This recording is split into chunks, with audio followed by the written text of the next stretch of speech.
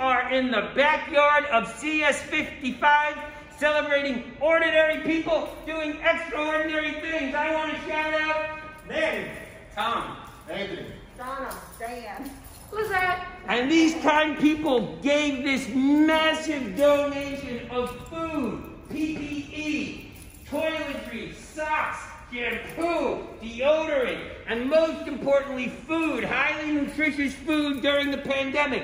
A perfect example of putting unity into our community because these amazing folks at Virtu, while their offices are now working remotely in partnership with Manny and Metropolitan Coffee, had a contract. And the beauty is they've taken that contract and kept employee engagement up, engaged community, and they are here today in the South Bronx so we can send every child and every family member home with dignity and a backpack of healthy, fresh food to help get them through this pandemic. And let me be clear, let me also shout out the New York City Food Policy Center and my number one buddy, Charles Platkin, for making sure he connected an inquiry to people on the ground who can help us put unity in our community because New York is not a city where only the strong survive. It is a city, a community where everyone can thrive. So, from CS55 to the world, I'm Steve Ritz for News 12. See, se puede.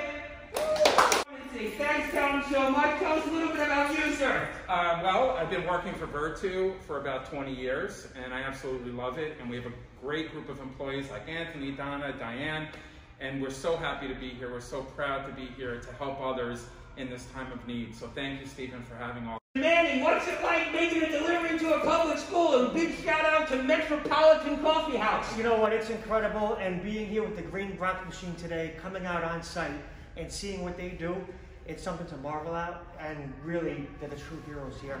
And I'm And- partnering up with Virtu is just a pleasure and excited to be. And it's great that you get to maintain your contract. You have your employees working, more Absolutely. employees are working. Yes, working. Stephen, we call it a win-win. We get to help Manny, we get to help the community. It is a win-win. We've got laundry detergent, toothpaste, deodorant, seeds of change, organic quinoa and brown rice. We've got raisins, we've got oatmeal, we've got rice, beans.